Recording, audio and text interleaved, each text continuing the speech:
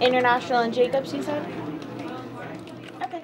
To be honest, I found the ad on Facebook of all places and I decided to apply and ever since the first day I've been hooked.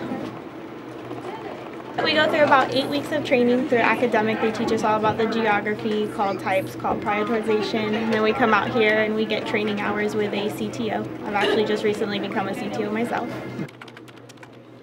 It's it's a learned behavior. You have to realize that even though they're having an emergency, it's not your emergency, and the calmer you are, the better help you're going to be able to give them. They can definitely run you down. You have bad calls, you have bad days, but just a bad day, not a bad job.